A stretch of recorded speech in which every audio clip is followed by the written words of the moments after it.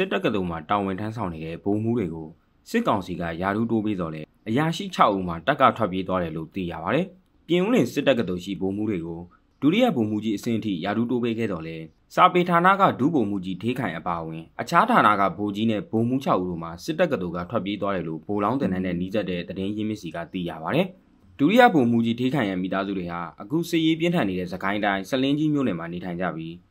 စစ်ကောင်စီကစစ်ကြောင်းထိုးရမှာ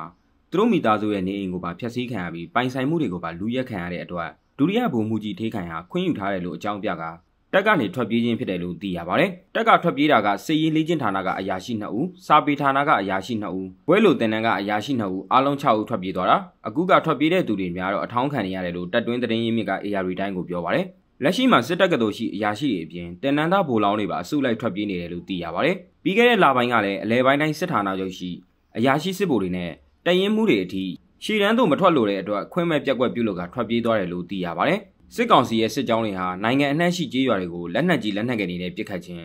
ပြည်သူပိုင်ပစ္စည်းတွေခိုးယူခြင်းလူရဲခြင်းမိရှုဖျက်ဆီးခြင်းနဲ့ပြည်သူတွေကိုဖမ်းဆီးနှိပ်စက်မှုတွေကိုပြုလုပ်နေတဲ့အတွက်ပြည်သူလူထုရဲ့ယွန်ရှာမုန်းတီးခြင်းကိုခံနေရတဲ့အပြင်တော်လှန်ရေးအင်အားစုတွေကလည်းပြင်းပြင်းထန်ထန်ခုခံတော်လှန်နေကြတာကြောင့်တပ်တွင်းကအရာရှိတွေအပါအဝင်ထွက်ပြေးနှုံမြင့်တက်နေတယ်လို့သိရပါတယ်။